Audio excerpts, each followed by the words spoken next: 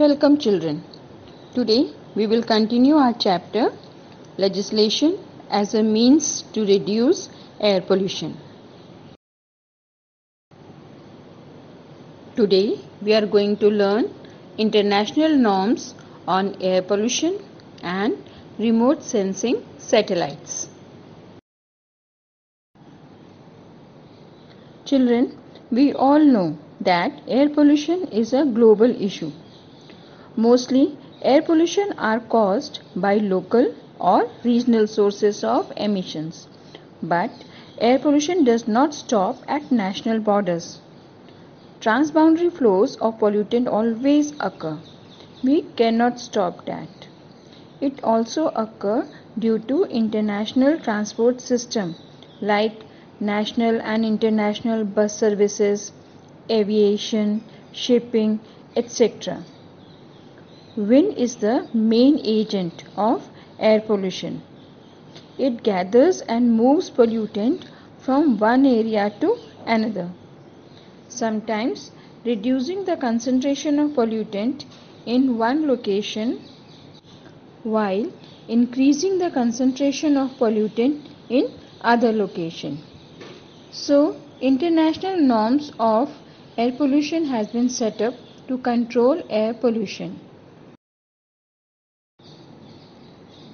So, to reduce air pollution which occur due to commercial, industrial and many domestic activities, international norms of air pollution have been set up like Euro norms. Euro norms or European norms or European standard. It is an international technical standard to control air pollution. It sets the emission standards. Emission standards are the legal requirement governing air pollutant released into the atmosphere. Emission standards set quantitative limits on the permissible amount of specific air pollutant that may be released from a specific source over specific time frames. This emission standard is very much required to control air quality and to protect human life or other life on the earth. Euronorm is a voluntary agreement between the European Union and the auto manufacturers. It is not a universal norm, but it sets emission standards to reduce air pollution. It regulates emissions from various sources. It controls industrial and commercial activities to check air pollution. There are stages as Euro 1, Euro 2, Euro 3, Euro 4 and Euro 5 fuels for light duty vehicle standards.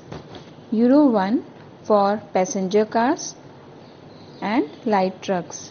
Euro 2 for passenger cars and for motorcycle. There are many limitations of Euro norms like Euro norms are not followed world over because it's a voluntary agreement between European Union and auto manufacturers. So many countries have framed their own laws depending upon the population, road structure, climate or environmental problems.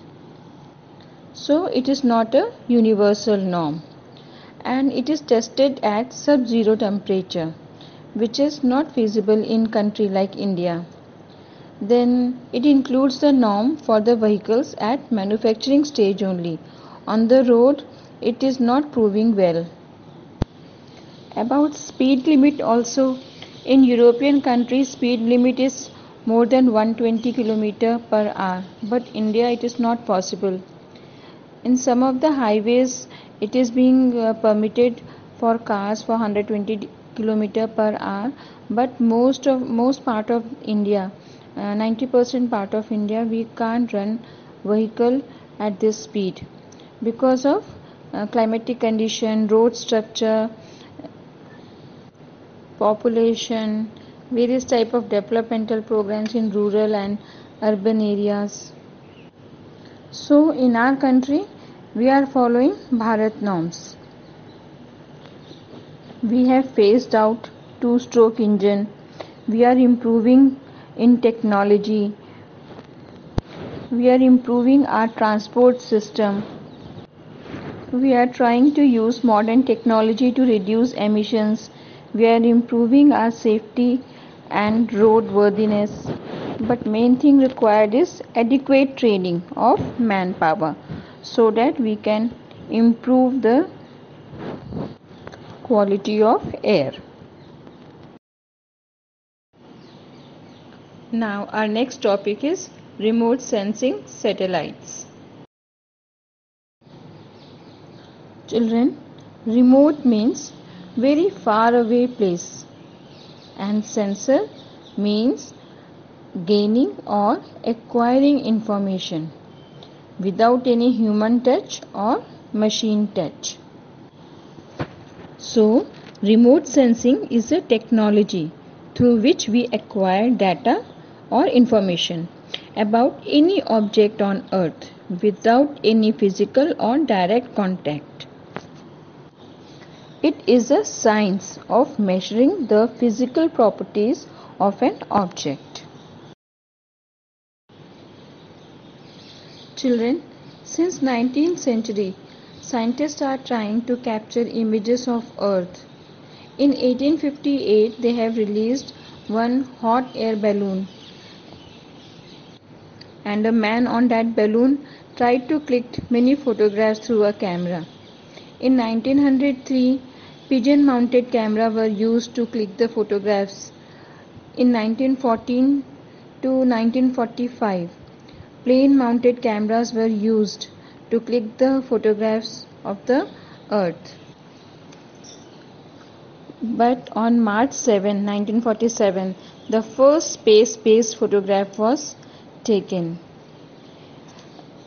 But from 1972, many advancement occurred. On July 23, 1972, first remote sensing satellite was launched. In 1990s, global remote sensing system was launched which can take photograph of any part of the earth and any time. In India, first satellite was launched on April 19, 1975, the Aryabhatta. And now we have around 12 operational satellites. Sun is the prime source of energy. This energy is absorbed by the object and reflected back as thermal infrared wavelengths. The sensors which are located on a satellite platform, they detect and record this emitted energy or reflected radiation. So we can get data of any part of the earth, ocean, mountain, any remote areas. There objects reflect or emit the energy this energy is detected and recorded by the sensors. They send electromagnetic radiation to record data of the that particular environment. This data is then interpreted and analyzed and then it is used for different purposes. Now you can understand the working of remote sensing technology. Just go through this image follow alphabetically from A to H. Then you will be able to understand how remote sensors work so remote sensing satellite is a very good tool and useful source for gathering environmental information it allows data collection in remote lands ocean mountains deep forest, etc. This system provides a special consistent data. The data which is collected is in digital form which can be easily processed by the computer. Remote sensing satellites covers a large area at a very high speed which can detect the variation in environment with great accuracy. Then measurements or information gathered from satellites are complementary to conventional observation. The initial cost of building and sending the satellite to space is huge, but later it is very advantageous as it reduces the cost of manpower requirement for survey, cost of transport, fooding and lodging for the survey team. We can compare this easily with the solar panel where installation cost is very high but later for years we can have free electricity.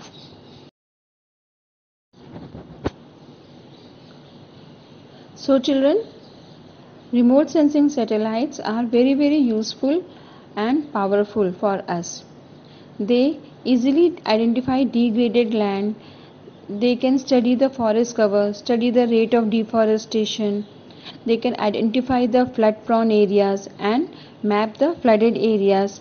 They can predict weather and natural calamities. They give early drought warning by studying rainfall and surface water conditions. They can easily monitor the mining activities. They also they are very helpful uh, in providing information for defense activities, intelligence, etc. So, remote sensors measures a parameter from a location of safety. Example, if a fire broke in a building, then a non-contact infrared thermometer allows firemen to determine the temperature inside a burning building without entering. And today the world is full of all kinds of remote sensor. Just find it out. Where do we use these sensors and how they are useful to us?